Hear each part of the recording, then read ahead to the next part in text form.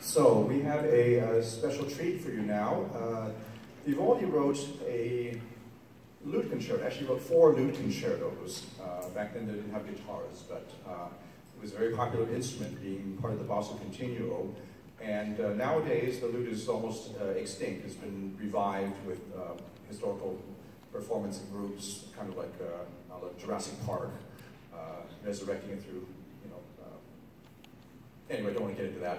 But uh, suffice to say, the uh, piece has been resurrected and played uh, by guitars, and so we are very fortunate to have a wonderful guitar soloist from China. She's played on both sides of the Pacific, not only on that side, but also here, studied in Oregon and also at USC.